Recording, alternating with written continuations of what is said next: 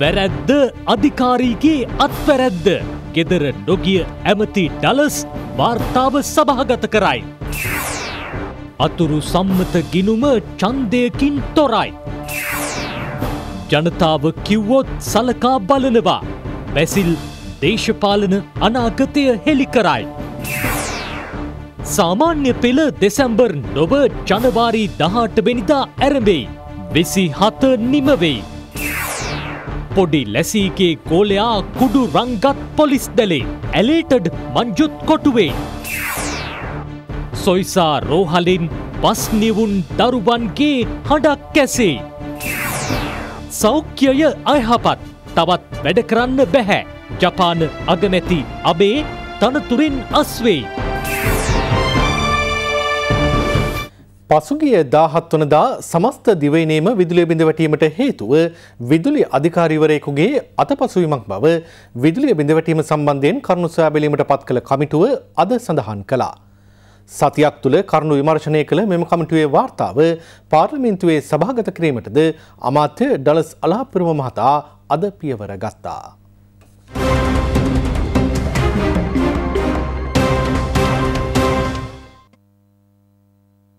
පසුගිය දාහත්වනිදා දහවල් දොළහයි තිහට පමණයි මෙම හදිසි විදුලි බිඳවැටීම සිදබුණේ. කෙරවල පිටිය ග්‍රීඩ් උපපොලේ විදුලි සම්ප්‍රේෂණ පද්ධතිය හටගත් දෝෂයක් හේතුවෙන් මෙම තත්ත්වය හටගත් බවයි විදුලි බල මණ්ඩලය ප්‍රකාශ කළේ. කෙසේ වුවද මෙම හදිසි විදුලි බිඳවැටීම හේතුවෙන් මහජනතාව මෙන්ම ව්‍යාපාරිකයන්ද අපහසුතා රැසකට මුහුණ දුන්නා. පසුව පැය කිහිපයක් තුළ විදුලි බිඳ වැටීම කඩිනමින් යථා තත්ත්වයට පත් කිරීමට විදුලි බල මණ්ඩලය කටයුතු කළා. අනතුරුව අමාත්‍ය ඩල සලහපිරම මහතා විදුලි බිඳ වැටීම සම්බන්ධයෙන් සොයාබැලීමට විශේෂ කමිටුවක් පත් කිරීමටයි පියවර ගත්තේ. මහාචාර්ය රාහුල අතලගේ මහතාගේ සභාපතිත්වයෙන් යුත් කමිටුව සමාජිකයන් හත් දෙනෙකුගෙන් සමන්විත වුණා. කෙසේ බෝද පසුගිදා මෙම සිද්ධිය සම්බන්ධයෙන් අදහස් දක්වමින් අමාත්‍ය ඩල සලහපිරම මහතා සඳහන් කළේ අදාළ සිද්ධියට වගකිව යුත්තේ විදුලි බල අමාත්‍යංශයේ බවට අනාවරණය වූහොත් තමා සියාමාත්‍ය දුරෙන් ඉල්ලා අස්වන බවයි.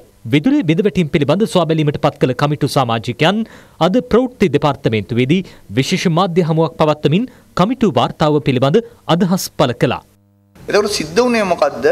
කෙරළපිටිය බස් බායකේ වෝල්ටේජ් එක බිඳුවටම බැස්. අනික මේ කෙරළපිටියේ ඔය ෆෝල්ට් එක සිද්ධ වෙලා කෙරළපිටිය පද්ධතියෙන් අයින් වෙන්න ගියේ 154 මිලිසෙකන්ඩ්ස්. ඒ කියන්නේ තප්පර කාලකට අඩු ගාණක්. මෙම සිද්ධියට අදාළ විදුලි අධිකාරිවරයා සම්බන්ධයෙන් විනය ක්‍රියාමාර්ග ගන්නේද යන්න පිළිබඳ මාධ්‍යවේදීන් මෙහිදී ප්‍රශ්න කළා.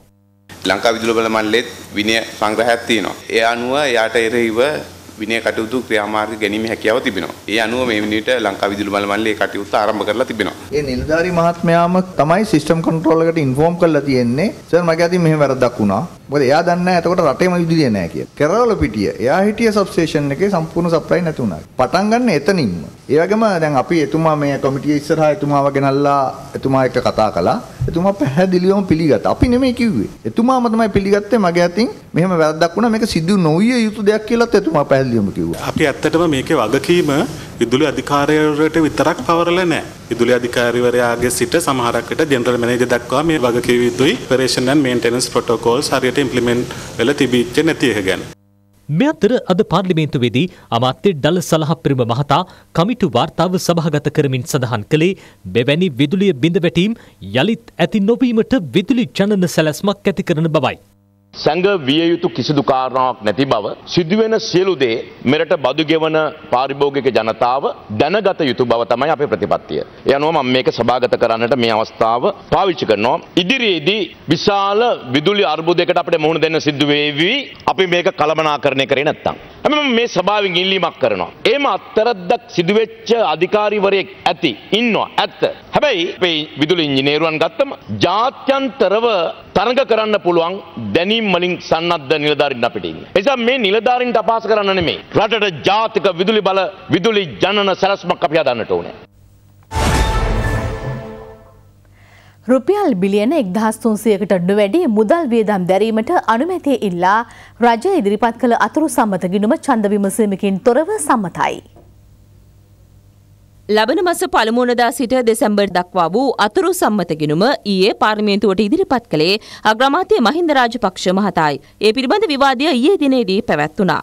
අද පාර්ලිමේන්තුව ආරම්භ වූ අවස්ථාවේදී මැති ඇමතුරුන් කිහිප දෙනෙකු විවාදයට එක්වෙමින් මෙසේ අදහස් පළ කළා. රටේ ආර්ථික සංවර්ධනය. ඒක තමයි ඉලක්කය. ඒ අරමුණ ඉෂ්ට කර ගැනීමට ක්‍රමවේද තමයි අන්තර්ගත වෙලා තිබෙන්නේ අතුරු සම්මත ගිණුමේ හා අපි ඉදිරිපත් කරන අයවැය ලේඛන.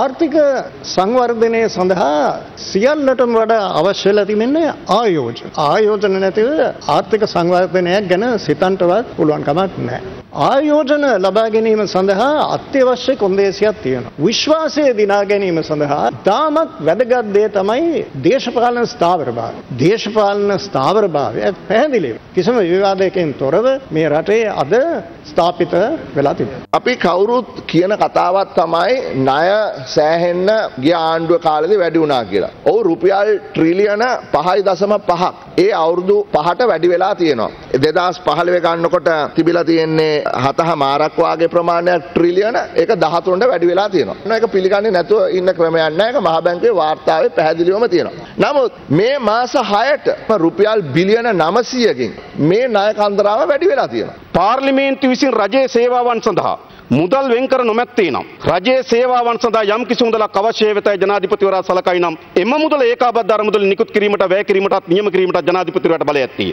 කවදායින්ද? ජනාධිපතිවරයාට ඒ බලය පැවරෙන්නේ. අභිනව පාර්ලිමේන්තුව කැඳවා එතැන් සිට මාස තුනක් යනතෙක්. මේ අගෝස්තු මාසයේ 20 වෙනිදාගේ සිට නොවැම්බර් 20 දක්වා ජනාධිපතිවරයාට මේ 153 වගන්ති යටතේ මුදල් වෙන් කිරීමේ බලය පැවරෙනවා. නොවැම්බර් මාසයේ 20 දක්වා අතුරු සම්මත කිරීමක් අවශ්‍ය නැහැ අවශ්‍ය නම්. අද ගින්න ඕනේ. ඉතා පැහැදිලිව අග්‍රාමාත්‍යතුමා පැහැදිලි කරා බිලියන ගණනාවක හිඟ ගෙවීම් කොන්ත්‍රාත්කරුවන් ඉදිකරන්නන් විවිධ සංවර්ධන යෝජනා ක්‍රම සෞඛ්‍ය රෝහල් මහජන අවශ්‍යතාවය සඳහා ගෙවා නොමැතිව තමයි එවකට සිටපු ආණ්ඩුව ගෙදර ගියේ නොවැම්බර් මාසේ මැතිවරණ කොමිසම පවා ගරු කතානායකතුමනි විශාල මුදලක් ඉල්ලා සිටියා මැතිවරණය පැවැත්වීම සඳහා. එයද අනුමත කරන ලදේ අධිකරු ජනාධිපතිතුමා විසින් ආණ්ඩුක්‍රම ව්‍යවස්ථාව 150 අදාළ වගන්ති යටතේ. දැන් අපි මේ මුහුණ දෙන්නේ කෝවිඩ් 19 නිසා බරපතල ආර්ථික හානියකට ලක්වුණු වාතාවරණයක් තුල අපි විශ්වාස කරනවා ජාති ආගම් කුලමල පන්ති පක්ෂ දේශපාලන බෙදීමකින් තොරව අපි මේ බරපතල ආර්ථික අර්බුදයට අපි රටක් හැටියට මුහුණ දෙන්නට ඕන. වැරදි මතයක් ඉදිරිපත් වුණා. අපි මේ රට වර්තමාන රජයට බාර දුන්නේ 2019 ඍණ ආර්ථිකයකින් කියන කාරණාව. ඒක සම්පූර්ණයෙන්ම වැරදි කාරණාවක් 2019 ආර්ථික වර්ධන වේගය දිහා බැලුවොත් 2.3ක ආර්ථික වර්ධන වේගයක් ලැබුවා. ගිය වසරේ ජුලි මාසේ වෙනකොට අපේ රටට පුළුවන්කම ලැබුණා ඉහළ මැදි ආදායම් රටක් හැටියට ශ්‍රේණිගත වෙන්න. කොරෝනා වසංගතය එන්නත් කලින් මේ ආර්ථිකය රින වෙලාය කවුද කරේ අපේ ආණ්ඩුව කාලේ අපි 106ක සාමාන්‍ය ආර්ථික වර්ධන වේගයක් පෙන්눔 කළා. ඔබ ඇවිත් ඒක සාමාන්‍ය 103යි වසර පහටම පසුගිය වසරේ ආර්ථික වර්ධන වේගය 101.9යි. දකුණු ආසියාවේ සිටින දුර්වලම රට ලෙස සලකන ආර්ථික වශයෙන් ඇෆ්ගනිස්තාන්ටත් වඩා පිටිපස්සෙන් අපේ ආර්ථික වර්ධනය තිබුණේ. ඒ ආර්ථික වර්ධනයේ දිගුව තමයි මේ වසරේ මුල් මාස 6 පෙන්වන්නේ. එක පැත්තකින් ආර්ථිකයට කරු විනාශය දෙවෙනි එකේ මහ බැංකු වංචාවෙනි දැවැන්ත සොරකම් තුන්වෙනි එක පාස්කු ප්‍රහාරය සිදුවෙන්න බලා සිටීම වැනි කාරණා මතයි ආර්ථිකයේ දුර්වල වීම ආරම්භ වුණේ. නමුත් මේ රටේ ජනතාව තුනෙන් දෙක දැවැන්ත ජනවරමත් ලබා දෙමින් අතිගරු ජනාධිපතිතුමාටත් ගරු අගමැතිතුමාටත් මේ ආර්ථිකය යලි නැගිට සිටීමේ ශක්තිය තිබෙනවායි කියන විශ්වාසය පළ කරලා තියෙනවා. මැටි ඇමති ගියයි වේවැල් ඇමති ගියයි විවිධ දේවල් බිත්තර ඇමති ගියයි හැබැයි නමුත් මේවා ඉතාමත් හොඳ පරමාර්ථයකින් හදලා තියෙන. අපි රටින් සියල්ල ගේනවට ගේන එක නවත්තලා මේ රට තුල නිෂ්පාදන දිරිගැන්වීමේ අරමුණෙන් තමයි මේ රාජ්‍ය අමාත්‍යාංශරික ජනාධිපතිතුමා පත් කරලා තියෙන්නේ. මේ අමාත්‍යාංශරික හරියට ක්‍රියාත්මක කරාට පස්සේ අපිට රටින් බාණ්ඩ ගැනීමේ අවශ්‍යතාවයක් නැහැ. උක්වගා කරන ගොවියට උක්ටොන් එක රුපියල් 5000යි ගෙවන්නේ. පහුගිය කාලේ පුරාම සත පහක් වැඩි කරගෙන උක්ටොන් එකකට රුපියල් 6500ක් අත උක්ටොන් එකකට ගෙවන්න ඕනේ කියලා මම යෝජනා කරනවා. එදා රුපියල් 83ට සීනි කිලෝ එක විකුණනකොට රුපියල් 120ට දැන් විකුණන්නේ. 290ට ස්ප්‍රිට් ලීටරයක් දෙනකොට දැන් 500ට විකුණන්නේ. ඒ සම්බන්ධව විශේෂ අවධානයක් යොමු කරන්න කියන එක මම වැවිලි කර්මාන්ත අමාත්‍යතුමාගේ අවධානයට යොමු කරනවා. බුදුහාමුදුරුවෝ තමන්ට ලැබිච්ච පළවෙනිම කාලේ පාවිච්චි කළේ කළගුණ සලකන්න. මනාප ඡන්ද 1,5973 තුනක් ලබා දීලා ලංකාවේ අතිශය තරඟකාරී අපේක්ෂක ලයිස්තු ඉහළම තැනකට මාවා ඔසවා තබවපු මගේ ආදරණීය කළුතර ජනතාවට මං ඉතාම ආදරෙන් ස්තුති කරනවා.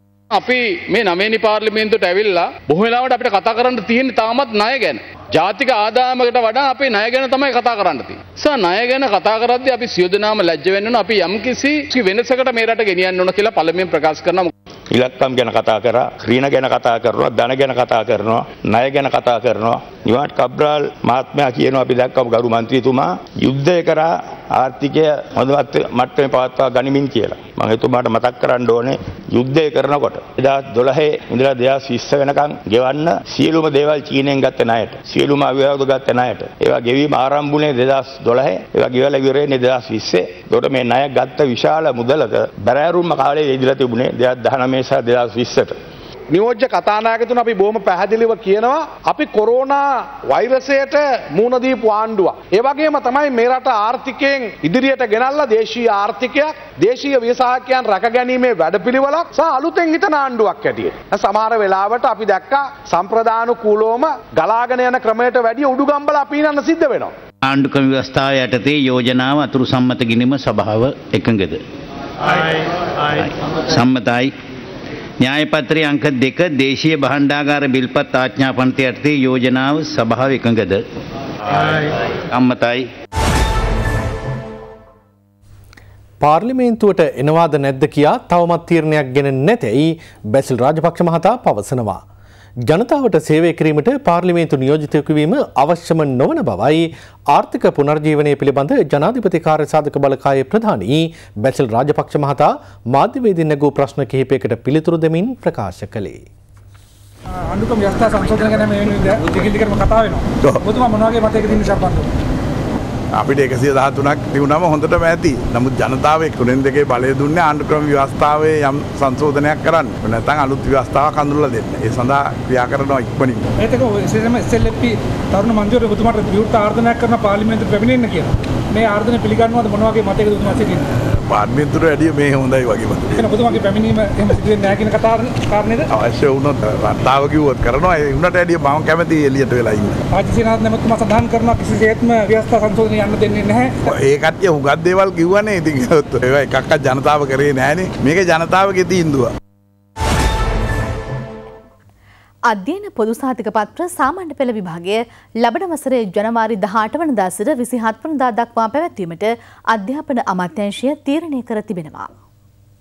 මෙම වසරේ පහස්ශ්‍රේණයේ ශිෂ්‍යත්ව විභාගය ඔක්තෝබර් 11 වනදා පැවැත්වෙන අතර අධ්‍යයන පොදු සාතික පත්‍ර උසස් පෙළ විභාගය ඔක්තෝබර් 12 වනදා සිට නොවැම්බර් 6 වනදා දක්වා පැවැත්වීමටයි තීරණය කර ඇත්තේ. ඒ අනුව ඔක්තෝබර් 10 වනදා සිට නොවැම්බර් 8 වනදා දක්වා පාසල් නිවාඩු ලබා දෙන බව අධ්‍යාපන අමාත්‍යාංශය නිවේදනය කරනවා. නැවත පාසල් ආරම්භ වන්නේ නොවැම්බර් 9 වනදායි. මෙම වසරේ අවසන් වාර නිවාඩුව දෙසැම්බර් 24 වනදා සිට ලබන වසරේ ජනවාරි 1 වනදා දක්වා ක්‍රියාත්මක වනවා. ලබන වසරේ නව පාසල් වාරය ආරම්භ වන්නේ ජනවාරි 4 වනදායි. අපොස සාමාන්‍ය පෙළ විභාගය ජනවාරි 18 වනදා සිට 27 වනදා දක්වා පැවැත්වෙන අතර එම කාල පරිච්ඡේදය සියලු පාසල් සඳහා විශේෂ නිවාඩුවක් ලෙස ක්‍රියාත්මක වනවා. සාමාන්‍ය පෙළ විභාගයට මුහුණ දෙන සිසුන් සඳහා පමණක් ලබන ජනවාරි පළමුවනදා සිට දාහත් වනදා දක්වා අධ්‍යයන නිවාඩු කාලයක් හිමිවනු ඇති. සාමාන්‍ය පෙළ විභාගයෙන් පසුව නැවත පාසල් ආරම්භ වන්නේ පෙබරවාරි පළමුවනදායි. සංවිධානාත්මක අපරාධකරුවෙකු වන පොඩිලෙසීන මැත්තාගේ ගෝලයකු වූ කුඩුරංග ගිනිියවි තුනක් සමඟ බලපිටියේදී අත්තරංගුවට ගැනුණා. තවත් අපරාධ කල්ලි සාමාජිකයෙකු වූ එලේටඩ් මංජු නැමැත්තාද නීතියේ රැහැනට කොටු කර ගැනීමට පොලිසිය සමත් වුණා.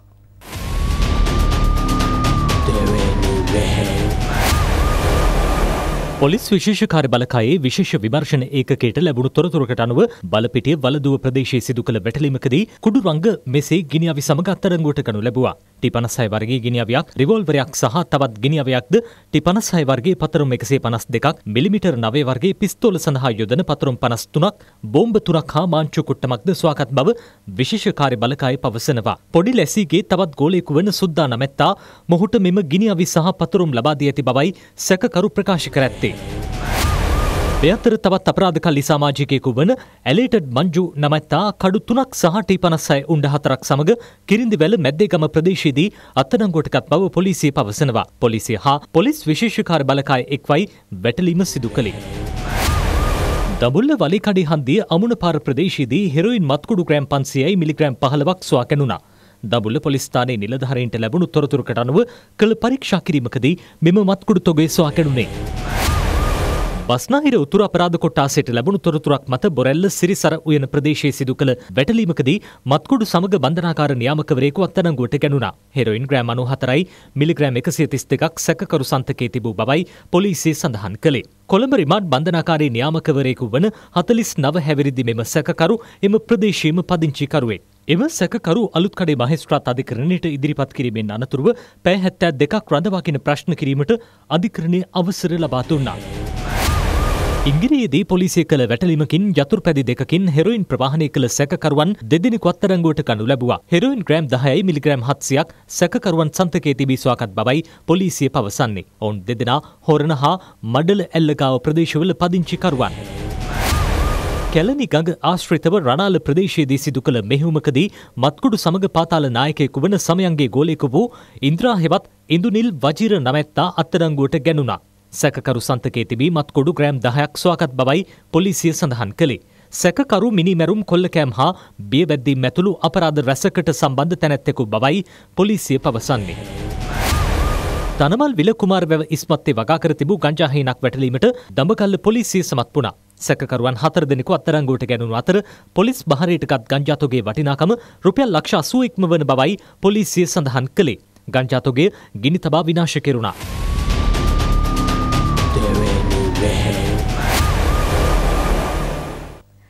කොළඹද සොයිසා කාන්තාරෝහලේදී පස්නිවුන් දරු උපතක් අද සිදුවනා. මෙම දරුවන් පස් දෙනාම ගැහැණු දරුවන් බවයි ද සොයිසා කාන්තාරෝහලේ නියෝජ්‍ය අධ්‍යක්ෂිකා වෛද්‍ය පුෂ්පා ගම්ලත්ගේ මහත්මිය ප්‍රකාශ කළේ. දරුවන් පස් දෙනාම යහපත් සෞඛ්‍ය තත්වයෙන් පසු වෙනවා. මෙය ශ්‍රී ලංකාවේ සිදු වූ සිව්වන පස් නිවුන් දරු උපතවන අතර ප්‍රසව හා නාරිවේද්‍ය විශේෂඥ වෛද්‍ය ප්‍රබෝධන රණවීර මහතා දරු උපත වෙනුවෙන් සිසේරියන් සැත්කම සිදු කළා. පාර්ලිමේන්තුවේදී ලබා දෙන ආහාරවල ප්‍රමිතිය පිළිබඳව ගැටලු පවතින බව ඊයේ මෙන්ම අද දිනේත් පාර්ලිමේන්තු මන්ත්‍රී එස්.එම්. මරික්කාර් මහතා ප්‍රකාශ කළා.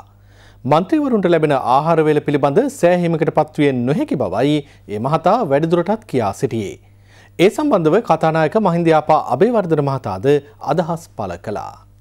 දැන් මම ඊයේ මතු කරපු කාරණේ තමයි එකක් ඇවිල්ලා මේ ආහාර පානය වල තියෙන තත්ත්වය ක්වොලිටි එක සම්බන්ධව. දැන් මේ മന്ത്രിවරු 225 දෙනාම හැමදාම පාර්ලිමේන්තුවෙන් කන්නේ නැහැ. හැබැයි පාර්ලිමේන්තුවේ සේවකයෝ රියදුරු මහතුරු 2000ක් විතර කනවා. එතකොට අපිට දැනගන්න ඕන මේ ඔඩිට් ඩිපාර්ට්මන්ට් එකෙන් දුන්නු ගාණ මේ 2000ම එකතුව දෙසී විසිපහන් බෙදලද කියලා. එහෙමනම් ඒක අපිට කරපු ලොකු අගෞරවයක්. දැන් මේකේ මේ මහා ලොකු දේවල් නැහැ නේ මේ හිල්ටන් එකේ ශැන්ග්‍රිලාගේ තියෙන දේවල් නැහැ. බතු එළවලු තියෙන්නේ. දැන් පළතුරු සීසන් එකටවත් ඒ පළතුරු වෙන්නේ හැමදාම තියෙන්නේ මේ අන්නාසි මේ පැපළුයි මේ කෙසෙල් ගෙඩි. හරිද? මේ සියලුම දෙනා කන කෑමවල වියදම 225න් බෙදලා තමයි මුලින් මේ ගන්න කියලා තියෙන්නේ. ඔව් පස්සේ මම ඊයේ මේ ගැන සොයලා බැලුවාම එක කෑම වේලකට වියදම් മന്ത്രിවරයෙකුට සඳහා වියදම් වෙන මුදල් රුපියල් 296ක් වගේ මුදලක් තමයි ඒක වෙන් වෙන්නේ. අපි නිවැරදිව හරියටම ගාන ගණන් හදලා කියන්නම් සභාවට කොච්චර මුදලක් යනවද කියලා. ස්වාධීන රූපවාහිනී මාධ්‍යජාලය සංවිධාන කරන ITN කයිට් ෆෙස්ටිවල් සරුංගල් සැනකෙළියට සමගාමීව වයිකාල වෙරළ තීරයේ පිරිසිදු කිරීම හෙට ආරම්භ වනවා. සරුංගල් සැනකෙළිය පැවැත්වෙන්නේ අනිද්දා දිනේදී. ඒ පිළිබඳ තොරතුරු ගෙනෙන්නේ Asanka Satharasinghe. ITN kite festival ඔබ සුරක්ෂිත කළ පිරිසිදු වයිකාල් වෙරළේ සරුංගල් යවන්න එන්න අගෝස්තු 30 වන දින දවස පුරා සංවිධානය සකුරා ලංකා පදනම සමග ස්වාධීන රූපවාහිනී මාධ්‍ය ජාලය අපි දින ගණනාවක් මුළුල්ලේ ඔබට දැනුම්වත් කරා වයිකාල වෙරළ තීරයට එන්න කියලා විශේෂයෙන්ම මේ සුන්දර වයිකාල වෙරළ තීරය පිරිසුදු කරමින් ඒ වගේම සරුංගල් සැනකෙළියක අසිරිය විඳින්න. ඉතින් ඒ දවස ඒ සුන්දර දවස හෙට උදා වෙනවා. හෙට උදෑසන අපි සූදානම් මේ වෙරළ තීරය පවිත්‍ර කරන්න බැලූ බැල්මට බොහොම සුන්දර වෙරළ තීරයක් හැබැයි ඒ සුන්දරත්වය අසුන්දරත්වයකට පත් කළ තියෙන්නේ අපේ මිනිස්සුම තමයි මහජනතාවම තමයි පරිසරයට බොහෝ දේවල් එකතු කරලා තියෙනවා. අනිද්දා දවසේදී අපි සරුංගල් සැනකෙලේ පවත්වනවා. ඉතින් මේ සියල්ලට අපි සූදානම් වෙමින් ඉන්නේ ඒ සකුර අලංකා පදනම ස්වාධීන රූපවාහිනී මාධ්‍ය ජාලය සමග වෙන්නපුව ප්‍රාදේශීය සභාව, ඒ වගේම වෙන්නපුව පොලිසිය, මහජන සෞඛ්‍ය පරීක්ෂකවරු මේ සියලු දෙනාම ඒක රාශී කරගෙන තමයි අපි මේ කර්තව්‍ය ආරම්භ කරන්න සූදානම් වෙන්නේ. හෙට පැවැත්වෙන එහෙම නැත්නම් හෙට දවසේ කොහොමද මේ කර්තව්‍ය සිද්ධ වෙන්නේ කියන කාරණාව ගැන අපි කතා කරන්න සූදානම්. සකුර අලංකා පදනමේ ලේකම්තුමන් ඉන්නවා. ප්‍රමෝද් ප්‍රියංජන අපිට කියන්නකෝ කොහොමද මේ වෙනකොට තියෙන සූදානම? ඇතටම අපි හෙට සහ අනිද්දා වයිකාල මුහුදු තීරයේ පිරිසුදු කිරීමේ සහ තිස්වෙනිදට සරුංගල් සැනකෙළිය. ඉතින් මේ දෙකටම අපි දැනටමත් සියලුම කටයුතු සූදානම් කරමින් පවතින්නේ. ඉතින් මම ලංකාවේ සිටින සියලු දෙනාට ආරාධනා කරනවා ඔබ පරිසරයට ආදරය කරන මුහුදු වෙරළට ආදරය කරන හැම හැම දෙනාටම මම ආරාධනා කරනවා හෙට උදෑසන 8 වෙදී එන්න මෙතනට. අපි අතින් පිරිසුදු කරන ඒ වෙරළේ ඉඳලා අපි අනිද්දා දවසේදී සරුංගල් සැනකෙළිය පවත්වනවා. පවුල් පිටින් ඔබේ ආදරණියන් එක්ක එන්න කියලා ආරාධනා කරනවා. වයික් කාල මේ සුන්දර වෙරළේ. ITN Kite Festival. අයහපත් සෞඛ්‍ය තත්ත්වය හේතුවෙන් ජපාන අග්‍රාමාත්‍ය ශින්සෝ අබේ සියතන්තුරෙන් ඉල්ලා අසූ බව අද වාර්තා වුණා. ඒ පිළිබඳ තොරතුරු රාත්‍රී 9:30 ප්‍රධාන පුවත් විකාශයෙන් බලාපොරොත්තු වන්න. සවස 6:30 ප්‍රධාන පුවත් අවසන්.